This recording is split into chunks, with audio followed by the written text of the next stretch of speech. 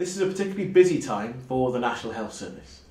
In every part of our system, in primary care, in hospitals, and our colleagues in social care, we know there's ever more pressure. More people with greater health needs. That's part of the story of the National Health Service and our colleagues in social care as well.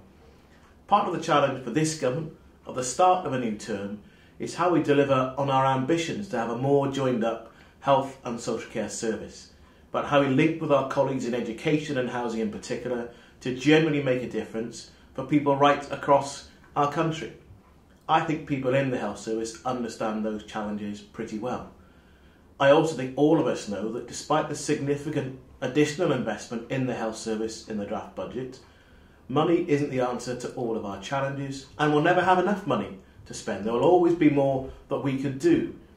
But building on that significant additional investment at a time of a reducing budget, it requires real leadership, not just from me as a politician, but from people in health boards and trusts to deliver what all of us want to see a high quality, compassionate health service right across the country.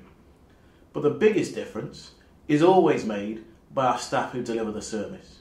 When I receive letters praising what the health service has done to save or transform someone's life, what is always made clear is that it's the compassion and the care from our staff that has really made that difference. The health service would exist without me. There'd be other leaders to take my place, but the health service would not exist and deliver that quality without you. I really am tremendously privileged to be in this position and to work with and for you. So ahead of Christmas and the new year, with all the demands that will bring as I'm enjoying Christmas with my family, I know there'll be people in the health service working to deliver that care every single day of the year for every single one of our communities. So I want to end my Christmas message with a simple thank you.